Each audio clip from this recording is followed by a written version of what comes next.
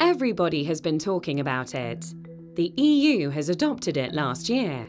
The General Data Protection Regulation, or short GDPR, is coming into force soon. Personal data is any data that relates to individuals like yourself. It describes you, who you are, what you do, where you go. Each of us leaves digital footprints of our personal data in cyberspace. These can be picked up and mined by businesses. This is what makes data one of the most valued assets to modern businesses. Data brings insight. Data brings competitive advantage. The processing of personal data has been regulated for over two decades, and now this regulation is expanded and further strengthened. The requirements of the GDPR fall into five areas. The first of these looks at strategy and governance. Going forward, organisations are expected to have clear accountability for privacy, as well as defined roles, responsibilities, and organisational structures.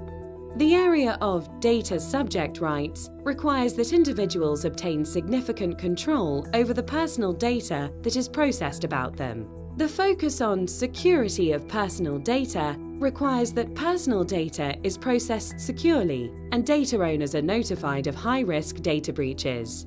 Organisations will also be required to implement legal and procedural controls to ensure adequate protection in case of data transfers.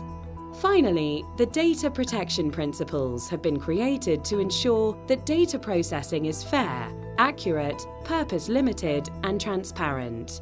Have you thought about the various milestones to become compliant? Do you have the backing of senior management and the board? Your inventory of data processing needs to be established and roles, responsibilities and governance have to be defined and approved. Review approaches to capturing consent, redraft privacy notices and determine how compliance will be demonstrated. Existing privacy controls need to be strengthened and missing ones added. Business processes have to be transformed to comply with the GDPR. Not complying with GDPR introduces risks that organisations cannot afford to ignore. Non-compliance will expose your company to operational risk.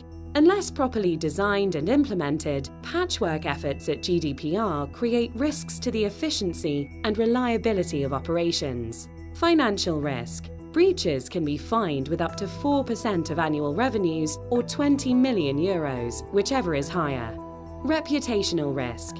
Incurring fines and privacy violations can create negative press that erode customer confidence and brand equity.